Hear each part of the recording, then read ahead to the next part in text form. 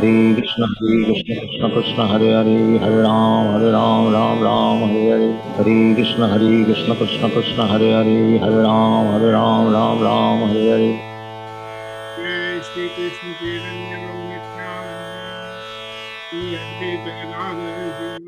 गदाधर भक्त वृंद जय श्री कृष्ण चैतन्य प्रभु नित्यानंद श्री अद्वैत गदाधर शिवासादि गौर भक्त वृंद जय श्री कृष्ण चैतन्य प्रभु नित्यानंद श्री अद्वैत गदाधर शिवासादि गौर भक्त वृंद हे कृष्णा करुणा सिंधु दीन बंधो जगतपते। गोपेश गोपी कांत राधा कांत नमोस्तुते तप्त कंचन गौरंगी राधे वृंदानेश्वरी वृषभानुसुते देवी। प्रणमामि हरिप्रिये नारायणं नमस्कृत्य नरं चैव नरोत्तमं। देवीं सरस्वतीं व्यासं ततो जयमुदीरये। बोलो श्री राधे गोलोकानंद भगवान की। हरे कृष्णा हरे कृष्णा तरुण। हरे कृष्णा। जय। हरे कृष्णा सर। क्या हाल है भाई बस आशीर्वाद है सर आपका कैसे हैं आप लोग बस बस तरुण वीकेंड वगैरह ठीक था जी Yeah, I think yes, Sachin might not have come back and अपने अनिल जी तो उनके ग्रैंड चिल्ड्रन आए हुए हैं इस वीक में और है ज्योति is in India so a lot of people traveling from here and there hmm, uh, it's fine so we'll get started. हम लोग अभी श्लोक 39 पढ़ रहे थे last week chapter six of fourth canto चौथे स्कंद का छठा अध्याय थर्टी नाइन श्लोक. सो तो जैसा कि हम लोग पढ़ रहे हैं लॉर्ड शिव जी को जब पता चला कि मदर सती ने अपना शरीर त्याग दिया है तो शिव जी अपसेट हो गए और यज्ञ को विध्वंस करने के लिए वीरभद्र को प्रोड्यूस किया and Virabhadra and the whole sena of lord Shiva went and and messed up the whole yajna. And not only that they killed not they killed, but they cut the head of raja daksh. And so all the devatas got scared and all the devatas went to lord brahma. Yeah? तो जैसा कि हम लोग पढ़ रहे थे Lord Brahma ने सब देवताओं को बताया कि हमें लॉर्ड शिव जी के पास जाना चाहिए और माफ़ी मांगनी चाहिए राइट तो जैसा कि हम लोग लास्ट फ्यू श्लोक्स में देख रहे थे लॉर्ड ब्रह्मा और सारे देवता, ऋषि, मुनि, सारे कैलाश पर्वत की तरफ़ जा रहे हैं और हमने कैलाश पर्वत का डिस्क्रिप्शन देखा। Yeah so we read about Kailash Parvat. And then they reached to Lord Shiva's place where Lord Shiva was in Samadhi, yeah, under the under the peepal tree, yeah, the bargad tree, Lord Shiva was doing the meditation. And so that's where we are, and that's from where we are reading. Uh, Lord Brahmaji then uh, glorifies Lord Shiva. Yeah. So we'll start on Shlok 39. Uh, Krishna Rinaji. हरे कृष्णा भैया। हरे Krishna.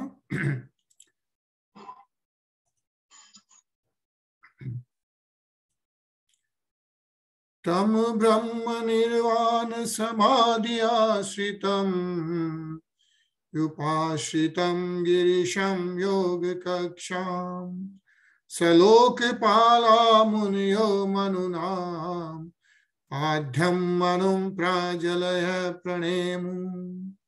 All the sages and demigods headed by Indra offered their respectful obeisances unto Lord Shiva with folded hands.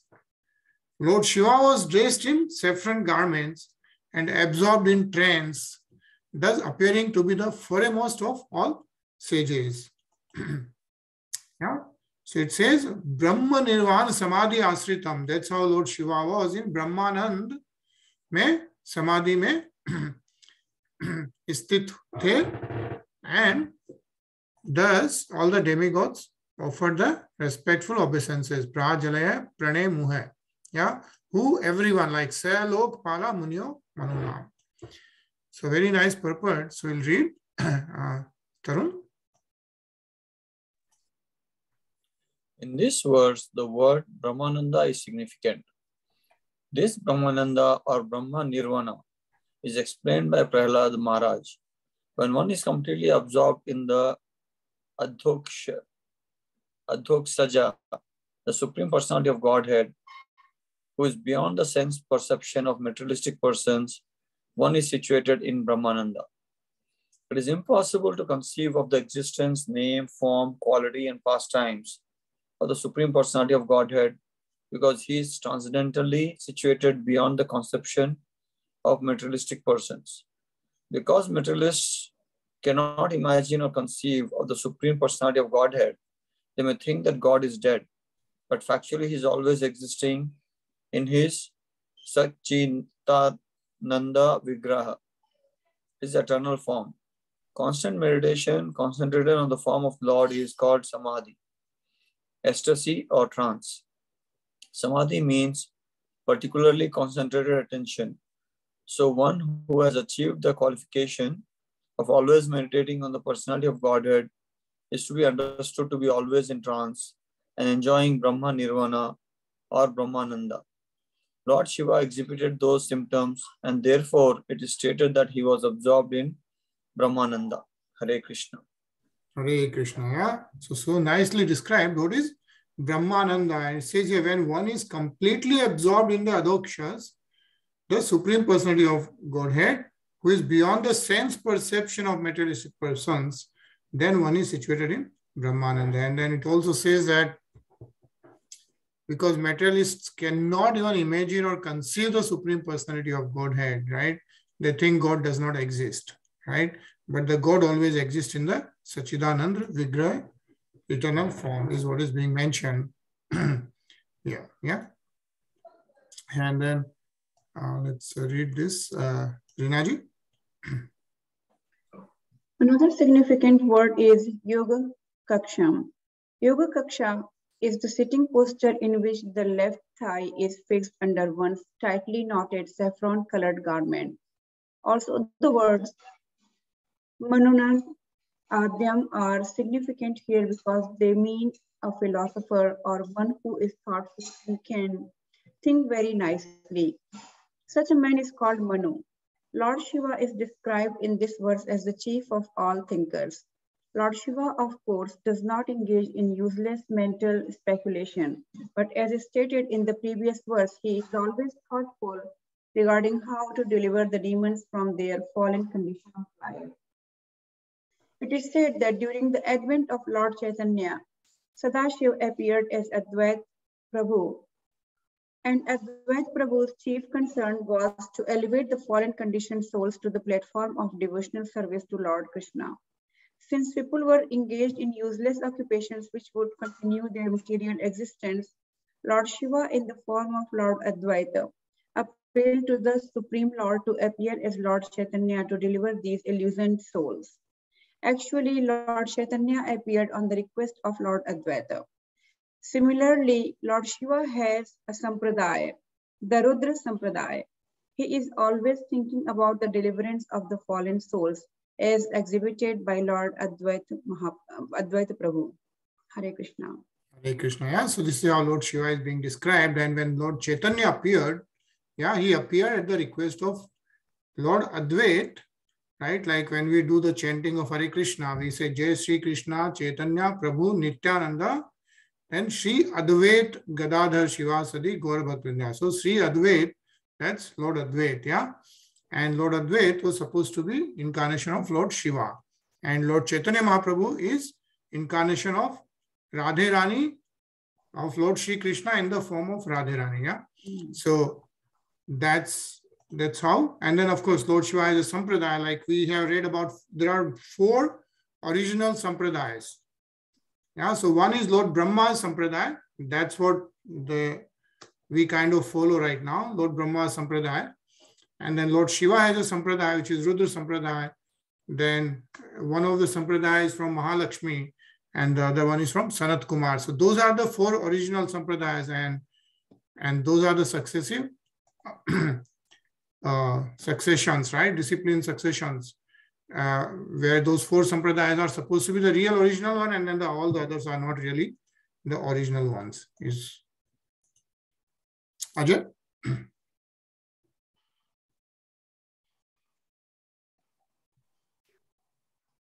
So, tupalab, tulab, tupalbhyag tamam matmo.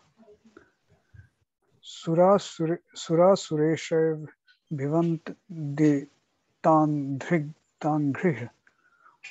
उत्थाय चकेश शिरसा विवंदन महत्तम कस्य यथैव Vishnu? Lord Shiva's lotus feet were worship by both the demigods and demons but still in spite of its exalted position as soon as he saw that lord Brahma was there among all the other demigods, he immediately stood up and offered him respect by bowing down and touching his lotus feet, just as Vaman Dev offered his respectful obeisance to Kashyap Muni. Hare Krishna. Hare Krishna. Yeah. So as soon as Brahmaji and all devatas reaches there, Lord Shiva, who sees Lord Brahma's, who sees Lord Brahma, right? It says that Lord Shiva's lotus feet were worshipped by both the demigods and demons. So right, it says here, Sur, Asur, Ishe. Sur और असुर दोनों के ईशे भगवान अभिवंदित अग्नि है right so he is at the exalted position topmost position still when he sees Lord Brahma, Atmayonim, what he does, Utthaya Chakre Sirsha Abhivandan, right? So he immediately stood up and offered him respect by bowing down and touching his lotus feet.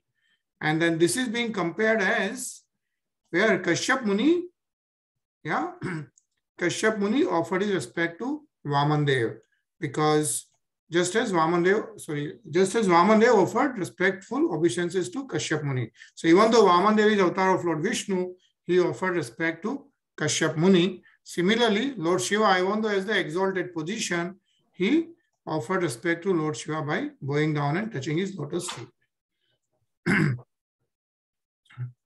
so read this purport, Ajay. Kashyap Muni was in the category of living entities, but he had a transcendental son, Vamandev, who was an incarnation of Vishnu. Thus, although Lord Vishnu is the supreme personality of Godhead, he offered his respect to Kashyap Muni.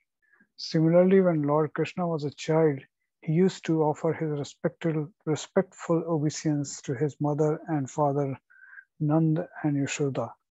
Also, at the Battle of Kurukshetra, Lord Krishna touched the foot of Maharaja, Maharaja because the king was his elder. It appears then that the personality of Godhead, Lord Shiva, and other devotees, in spite of being situated in an exalted position, instructed by practical example how to offer obeisance to their superiors. Lord Shiva offered his respectful obeisances to Brahma because Brahma was his father, just as Kashyap Muni was the father of Vaman. Hare Krishna. Hare Krishna. Yeah. Tarun? तथा परे सिद्धगणा महर्षि भी येर वे समनंतादनु नीललोहितम नम स्कृतः प्राह शशाडंकशेखरम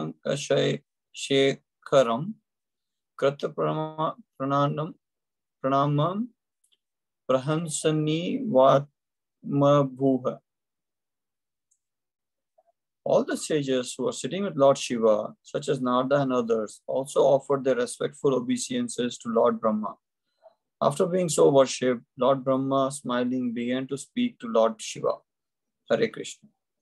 Hare Krishna, right? So as we read in the previous shloks, along with Lord Shiva, all the Rishi Munis were also doing tapasya under that tree, yeah, and including Narad Muni, and they all offered respect to Lord Brahma, yeah, and then Lord Brahma started speaking to Lord Shiva, yeah. so, so now Lord Brahma is speaking, uh, Rinaji. Brahma Vacha. त्वमेषं विश्वस्य जगतो योनि बीजयो शक्ते शिवस्य च परं यत्तदत् ब्रह्म निरन्तरम् Lord Brahma said, My dear Lord Shiva, I know that you are the controller of the entire material manifestation, the combination father and mother of the cosmic manifestation, and the supreme Brahman beyond the cosmic manifestation as well. I know you in that way. Hare Krishna. Hare Krishna. Yeah. So Brahmaji started speaking to Shivji Bhagwan, right? That I know that you are the controller of the entire material manifestation. Yeah. Says here, Tvam Isham Viswasya Jagato Yoni Bijyo hai. Yeah. And then Yatato Brahma Nirantaram. So also he is father and mother of the cosmic manifestation and supreme Brahma beyond the cosmic manifestation as well. I know you in that way. So that's what Lord Brahma is saying. Although Lord Brahma had received very respectful obeisances from Lord Shiva, he knew that Lord Shiva was in a more exalted position than himself. Lord Shiva's position is described in Brahma Samhita. There is no difference between Lord Vishnu and Lord Shiva in their original positions. But still Lord Shiva is different from Lord Vishnu. The example is given that the milk in yogurt is not different from the original milk from which it was made. Yeah. So he said, dahi banta hai doodh se. That's how Lord Vishnu and Lord Shiva is described. Like they're not different from each other, but the dahi is made up of the milk. So dahi is compared to Lord Shiva and the milk is Lord Vishnu. That's how it is compared. Yeah.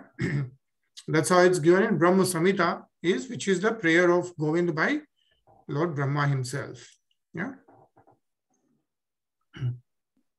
Ajay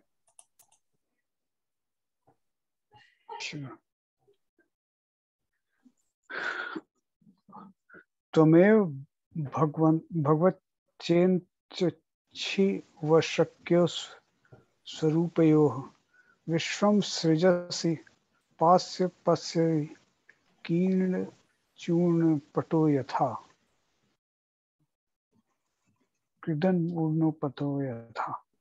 My dear Lord, you create the cosmic manifestation, maintain it, and annihilate it by expansion of your personality exactly as a spider creates, maintains, and winds up its web. Hare Krishna. Hare Krishna. So he's telling to Lord Shivji Bhagwan that you create this Vishwam Srijasi Pasi Atsir. So you create it, maintain it, and annihilate it by the expansion of your personality. Right? And compared to the Kridanul Pato Yatha, like, like a spider who creates the web and then destroys it whenever he wants it. Yeah.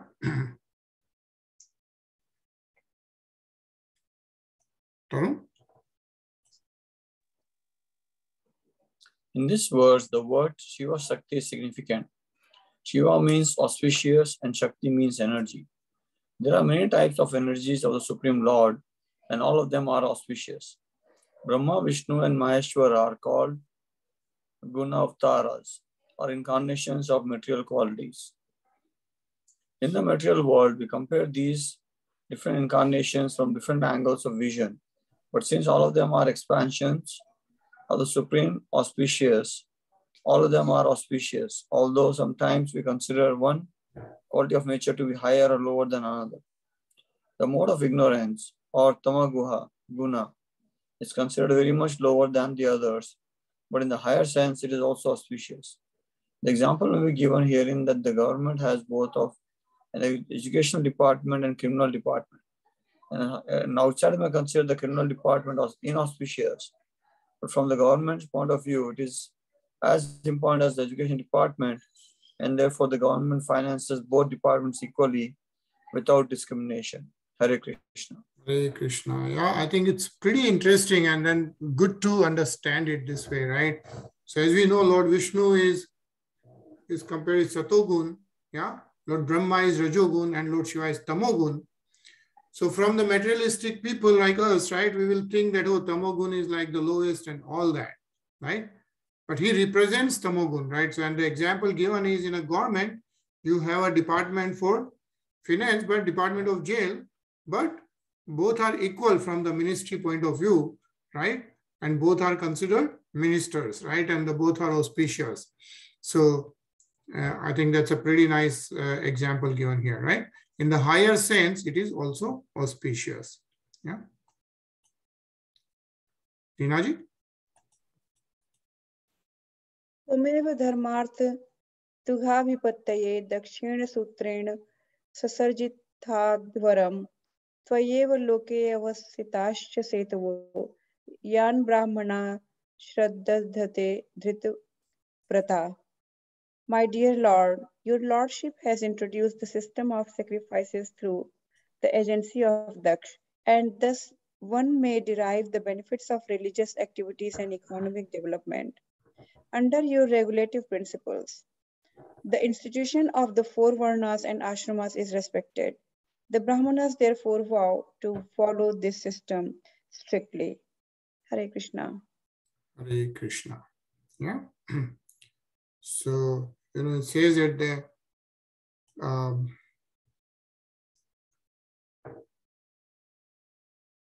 for the Brahmins, it's mentioned they should act according to the regulative principles of this institution and satisfy the Lord, just as different parts of the body all engage in the service of the whole. Yeah, because because of what happened with with Prajapati Daksh, who did not invite Lord Shiva. Now Lord Brahma is telling Lord Shiva that you know, all the Brahmins should actually follow the right process. And it says here the whole is the supreme personality of Godhead in his Virat Roop or universal form. The Brahman, Kshatriyas, Vaishyas, and Sudras are respectively the mouth, arms, abdomen, and legs of the universal form of the Lord, right? So if you remember in Canto 2, we read about the universal form of the Lord, right? The Virat Swarup, where it was described that mouth represents the Brahmins, arms Kshatriyas, abdomen Vesh, and legs Shudras. And then also, of course, it has been explained that it's not just because somebody is born in a particular family that he becomes Brahman. Those are by karmas. Yeah. So anyone who is a devotee can be a Brahman, right? And so on and so forth.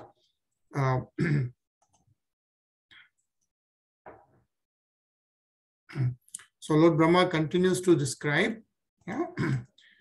Tvam karma naam mangal mangalanam kartuha swalokam tanushe param va अमङ्गलानां च तमिस्त्रमुल्बनं विपर्ययः केन तदेव कस्यचित् O most auspicious Lord, you have ordained the heavenly planets, the spiritual Vaikuntha planets, the impersonal Brahma sphere as the respective destinations of the performers of auspicious activities. Similarly, for others who are miscreants, you have destined different kinds of hells which are horrible and ghastly. Yet, sometimes it is found that their destinations are just the opposite. It's very difficult to ascertain the cause of this. yeah, so that's how uh, Tvam Karmana Mangal Mangalanam. So this is how Lord Brahma is, is uh, describing uh, and, and praying to Lord Shiva. Yeah, it also says here the purport of this verse is that when a devotee is in a calamitous condition, he takes it as a benediction of the Supreme Lord and takes responsibility himself for his past misdeeds. In such a condition, he offers still more devotional service and is not disturbed. One who lives in such a disposition of mind, engaged in devotional service, is the most eligible candidate for promotion to the spiritual world. In other words, such a devotee's claim for promotion to the spiritual world is assured in all circumstances.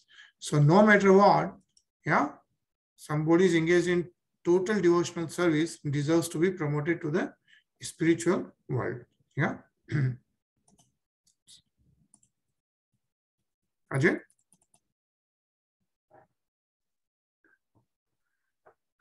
नवय सता त्वच्च चरणा पितात्मना पितात्मना भूतेषु सर्वेषु तव। भूतानि चान्म चान्म पृथ पृथग्दिक्षता प्रायेण रोषो भिव भिव विभुवेश वेद्यशाह पशुम।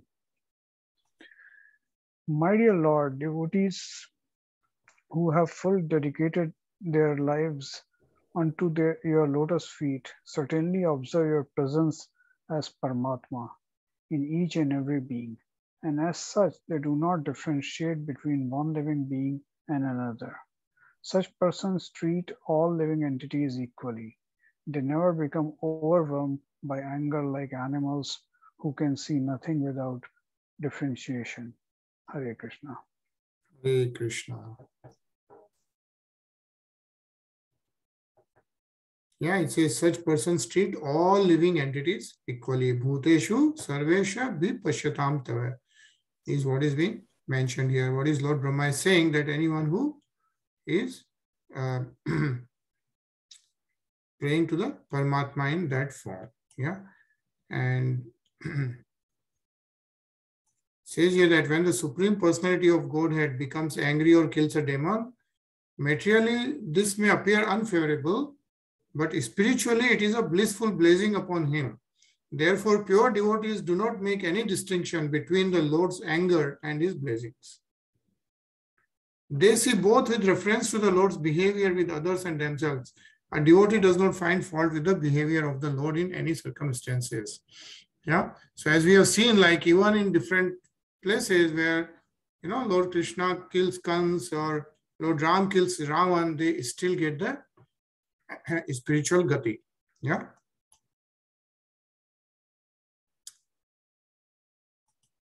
Karan? प्रतः दियाः कर्मदृश्य दुराशयाः परोदनेन दयेन पित्य न पिता रुजो निशम परानु दुरुक्तेर् वि- वितुदन्ति अरुन्तुदास तन्मवद्यत् दित दैव्यवधन bhavat vidah. Person who observe everything with differentiation, who are simply attached to fruitive action, activities, who are mean-minded, are always pained to see the flourishing condition of others, and who thus give distress to them by uttering harsh and piercing words, have already been killed by providence. Thus, there is no need for them to be killed again by an exalted personality like you. Hare Krishna. Hare Krishna. Yeah, so Lord Brahma is now praying to Lord Shiva like that so that, you know, Lord Shiva calms down and then he can get the yajna restarted. Yeah. so, so actually we can pause here. We have two minutes left. Uh, we'll just hear the Mahima, Shiv Mahima Estrotam and then see you tomorrow at 10 p.m. Yeah. Because we have a lot of people out. So I think we'll uh, man, manage it within 40 minutes and then we'll restart 50 minutes from next week. Yeah? So let's just hear there.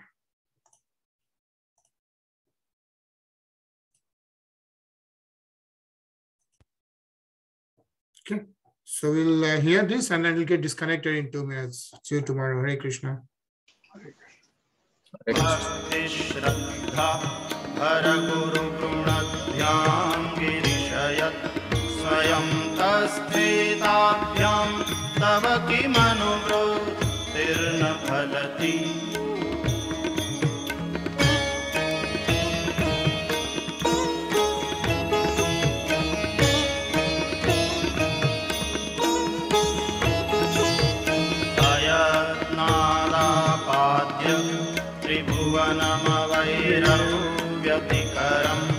दशास्यो यद्बाहूनभृतरणकण्डुपरवशां श्रियः पद्मश्रेणी रचितचरणाम्भोरुहबले